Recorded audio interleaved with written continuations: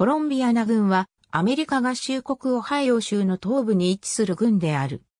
2010年国勢調査での人口は10万7841人であり、2000年の11万2075人から3.8%減少した。軍庁所在地はリスボン村であり、同軍で人口最大の都市はセーラム市である。コロンビアナ軍はその全体でセーラム小都市圏を構成している。またヤングスタウン、ウォーレン広域都市圏を構成する4軍の一つである。軍名はクリストファー・コロンブスから取られた。コロンビアナ軍となった地域に住んでいたインディアンは、ワイアンドット族、ミンゴー族、デラウェア族だった。1750年のクリストファー・ギストをはじめとし、18世紀後半を通じて白人体験家が地域に入ってきた。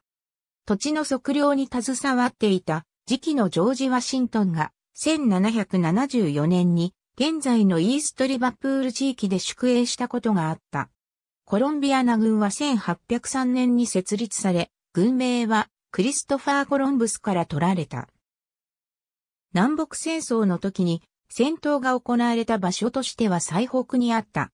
1863年、ジョン・ハント・モーガンの指揮する南軍襲撃隊がこの地域まで侵入し、北軍に降伏して捕らえられた。